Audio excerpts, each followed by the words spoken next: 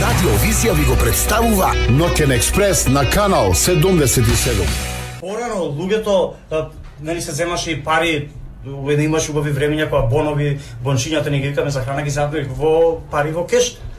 И ако имаше потреба од било како, без разлика што фирмата, самата држава имаше свој солидарен фонд за било каква елементарна непогода или да се работи за болест на самиот работник, ќе ќе најдев еден колега работник, ќе до благајникот ќе го седневме буквално пари енормно голема сума на пари се собира да му се помогне на на колегата. За разлика од тогаш сега само че слушнеме дека некој има проблеми и знаеш што е донирање 100 денари, колку можеме да му помогнеме на тој човек. Значи во во ова сега кога Македонија веќе сака десме социјална држава, еве капиталистичка држава, треба да има и посебни фондови за вакво нешто. Не може некој се намаката на луѓето поготово последниот период дојде да се слика, еве ја што правам, пово нека не се слика, нека не оди, нека не дава ништо колку да да го да да злоупотребува еде вакво.